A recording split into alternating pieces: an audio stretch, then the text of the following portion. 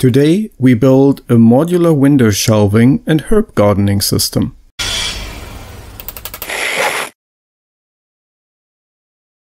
Besides the workshop, the kitchen is one of my favorite places in the house. In order to have fresh herbs in the kitchen, I've built these simple stands with an integrated water container a while back.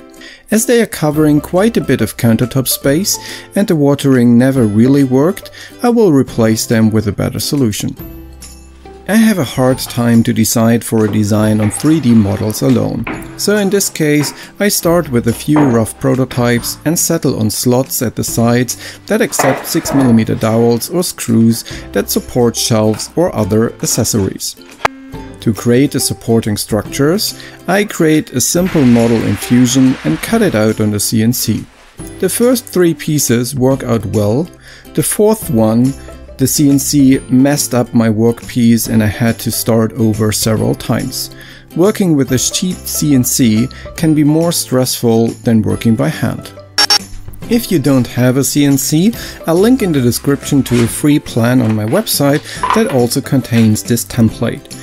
Use a drill that corresponds to your slot size to drill the smaller holes and drill larger holes equal to the size of the guide bushing of your router. Connect the large holes with a jigsaw or coping saw and sand them smooth. By putting dowels in the smaller holes, you can register them against the previous slot and route the next slot by riding the bushing of your router against the wall of the larger slot. In order to blend the side pieces better with the window frame, I paint them white and give them a few coats of spray lacquer. If you live in a modern house with square and plumb walls and window frames, you can directly screw or glue the pieces to the sides of your window. In my case, I had to hot glue thin strips to the sides in order to get the sides square with the wall. For the installation, I pre-drill holes in each side, align the four pieces with the dowel and then screw them in place.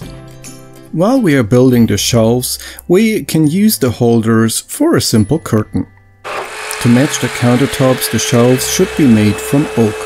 For the main shelves, I cut a large oak slab in half and cut it to rough size on the table saw. With the jointer and planer, I square up all sides before I cut them to their final dimensions on the table saw. As the front seemed a bit heavy, I decided to add a taper to the front. You could remove the material on the table saw, but I feel safer by building this quick planer sled. The pieces are secured with a wedge and sent a few times through the planer.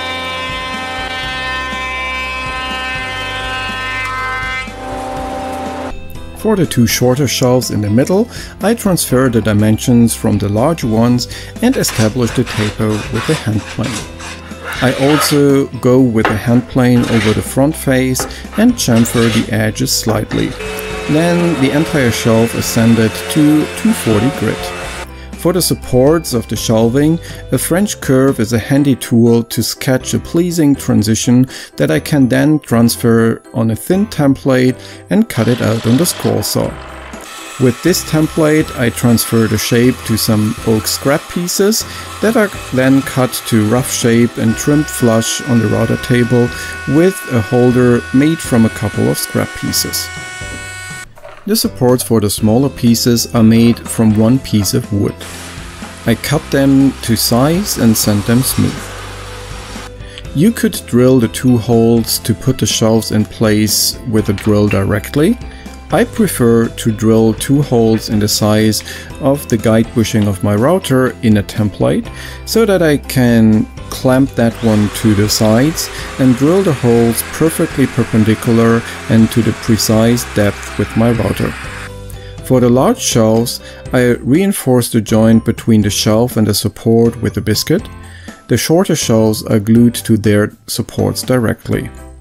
Lastly, I put two M6 screws in each side and cut off the heads of the screws and give the shelves two coats of oil.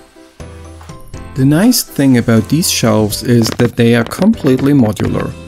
You can rearrange them to provide space for a small greenhouse, or if the plants ever need more light, I can easily mount additional lighting or even water reservoirs. As a very last touch-up to the project, I cut a few thin oak pieces on the table saw, burned the herb names with my cheap Chinese laser engraver in the wood, and burn the lower end for an additional protection against moisture. With these signs I complete the build for today. The future possibilities, however, are endless, and I will most likely extend the system in future videos. If you don't want to miss these and other videos, please subscribe to my channel and follow me on Instagram if you want to have a look at future projects.